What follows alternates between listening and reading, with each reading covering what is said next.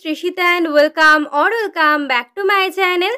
आज के वीडियो में हम लोग क्रिएट करेंगे एक Bengali wedding guest makeup look ये जो मेकअप लुक है एक सॉफ्ट पिंक ग्लैम लुक है।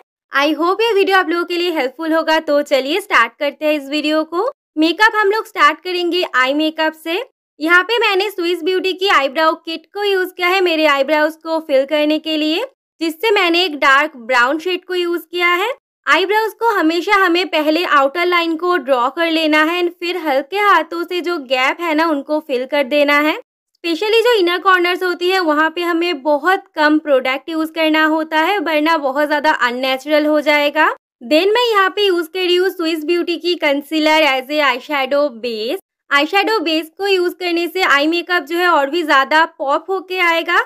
एंड अगर आपके आईज में पिगमेंटेशन है तो उसे भी यह हाइट कर देगा। आप लोग कोई भी आई बेस या फिर कंसीलर यूज़ कर सकते हो मेरी तरह। एंड इसको मैंने ब्लेंड कर लिया है ब्यूटी ब्लेंडर की हेल्प से। आई में मैंने पहले यूज़ किया है मिस एड्स की शिमा आई पैलेट इससे मैंने दो पिंक कलर की शेड को चूज़ किया है, जिसको मैंने अप्लाई किया है मेरे पूरे आईलिट के ऊपर। ये जो आई शेडोज़ है ना, ये बहुत ज़्यादा पिगमेंटेड है, बहुत इजीली स्मूथली ग्लाइड हो जाता है आईलिट के ऊपर। देन मैंने यहाँ पे स्विस ब्यूटी की अल्टीमेट शेडो पैलेट से एक ब्राउन कलर की शेड को चूज़ किया है, जिसको मैं यूज़ करूँगी मेरे आउटर वी पे एंड थोड़ा सा मेरे क्रीज लाइन पे। एंड इसकी हेल्प से हमारी जो शिमर शेड था ना, उसको भी अच्छी तरीके से हम लोग एजेस को ब्लेंड कर लेंगे।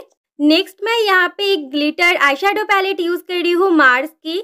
ये जो आई पैलेट है ना, ये बहुत ही ज़्यादा प्रिटी है। एंड इससे मैं एक पिंक कलर की ग्लिटर को यूज़ करूँगी, जिसे हम लोग अप्लाई करेंगे शिमर शेड के बिल्कुल ऊपर।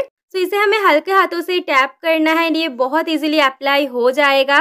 नेक्स्ट लाइनर के लिए मैंने यूज़ किया है लैकमे की इंस्टा लाइनर ये जो लाइनर है, ये वाटरप्रूफ नहीं है। मैंने यहाँ पे एक विंग आईलाइनर क्रिएट किया है। लाइनर को कितना थिक रखना है थिन रखना है वो आपके ऊपर डिपेंड करता है। एंड कितना लॉन्ग करना है वो आपके हिसाब से कर सकते हो। सो so, लाइनर के बाद मैं यहाँ पे यूज़ कर रही हूँ मस्कारा। ये ब्लू हेवन की मस्कारा है। तो मैंने यहाँ पे दो से तीन कोट मस्कारा अप्लाई किया है बोथ आई में। नेक्स्ट मैंने यहाँ पे क्विकली एक फॉल्स आईलैश अप्लाई कर लिया है क्योंकि मुझे ये लुक आईलैश के बिना इनकम्प्लीट लग रहा था। नाउ हम लोग करेंगे बेस मेकअप। तो पहले मैंने यहाँ पे एक मॉइस्चराइजर यूज़ किया है पॉन्स की जो कि बहुत ज़्यादा लाइट वेट है। अगर आपका स्किन ऑयली है आपके लिए बेस्ट प्रोडक्ट है। सो so, स्किन को मॉइस्चराइज करने के बाद मैंने यहाँ पे एक हाइलाइटर यूज़ किया है बेस में जो कि इनसाइड की है। ये क्रीम हाइलाइटर है तो बहुत इजीली ब्लेंड हो जाती है। फाउंडेशन के लिए मैंने मेरी favourite full coverage foundation use किया है जो कि है मेबलिन की super stay full coverage foundation and इसकी शेड है गोल्डन तो मैंने बस दो ड्रॉप फाउंडेशन की यहाँ पे अप्लाई किया है क्योंकि ये बहुत ज़्यादा फुल कवरेज है। पहले मैंने फाउंडेशन को ब्रश की हेल्प से फेस में अप्लाई कर लिया है फिर मैं उसको ब्लेंड कर लूँगी ब्यूटी ब्लेंडर की हेल्प से।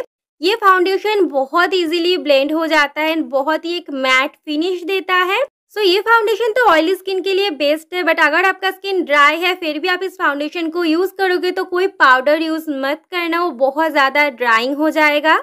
सो so, फाउंडेशन को अच्छी तरीके से ब्लेंड करने के बाद मैंने यहाँ पे कंसीलर यूज़ किया है। यह है स्विस ब्यूटी की सेम कंसीलर मैंने बहुत थोड़ा ही कंसीलर अप्लाई किया है मेरे अंडर आईज में and bridge of the nose में। पूरे बेस को सेट करने के लिए मैं यहाँ पे लूज पाउडर यूज़ कर रही हूँ मार्स की। ये जो लूज पाउडर है ना ये मैंने रिसेंटली परचेज किया है बट ये बहुत ही अच्छी लूज पाउडर है। तो मैं यहाँ पे इसकी हेल्प से पूरे फेस को बेक कर रही हूँ। थोड़ी देर सेट करने के बाद हम लोग इसको डस्ट ऑफ़ कर लेंगे एंड जो भी एक्स्ट्रा रह जाएगा ब्रश में उसके हेल्प से पूरे फेस को सेट कर लेंगे अच्छी तरीके से। तो मैंने सेम जो ब्राउन शेड था ना, उसी को लिया है, जिसको हम लोग यूज़ करेंगे मेरे अंडर आईज में। जिसे हमें अच्छी तरीके से स्मच कर लेना है। देन मैं यहाँ पे यूज़ कर रही हूँ काजल एलिटीन की। मैंने ना इस लुक में most of the eye product waterproof use नहीं किया है। क्यों? मुझे नहीं पता है, मुझे अभी वो रियलाइज़ हुआ। ब्लश के लिए मैंने यूज़ किया है इसिफो कलर की पीच मिनी ब्लश। ये जो ब्लश है इंडियन स्किन टोन को बहुत अच्छे से सूट करता है। मैं थोड़ा ज़्यादा ब्लश अप्लाई करती हूँ। अगर आप लोगों को बहुत ज़्यादा ब्लश नहीं अच्छी लगती, आप लोग क्रीम ब्लश भी अप्लाई कर सकते हो। हाइलाइटर के लिए मैं यूज़ कर हूँ मेरी favourite H D duo highlighter from MyGlamm. तो मैंने इसको यूज़ किया है मेरे चीक बोन के ऊपर, थोड़ा सा ब्रिज ऑफ़ द नोज़ पे। एंड सेम हाइलाइटर को ही मैं मेरे आईज के इनर कॉर्नर में भी अप्लाई करूँगी एंड थोड़ा सा मेरे आईब्राउज के नीचे भी अप्लाई करूँगी।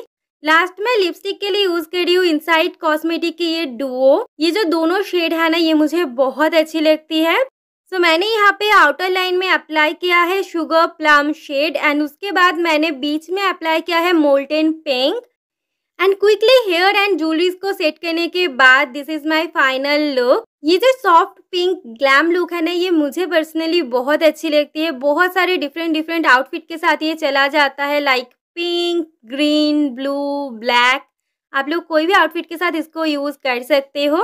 सो आई होप ये वीडियो आप लोगों को अच्छी लगी होगी, ये मेकअप लुक आप लोगों को अच्छी लगी होगी। तो अगर मेकअप लुक अच्छी लगी है तो मुझे नीचे कमेंट में बताना ज़रूर। एंड अगर ये वीडियो अच्छी लगी है तो वीडियो को लाइक कमेंट एंड शेयर कर देना। And don't forget to subscribe to my channel and hit the bell button so see you guys in my next video till then bye bye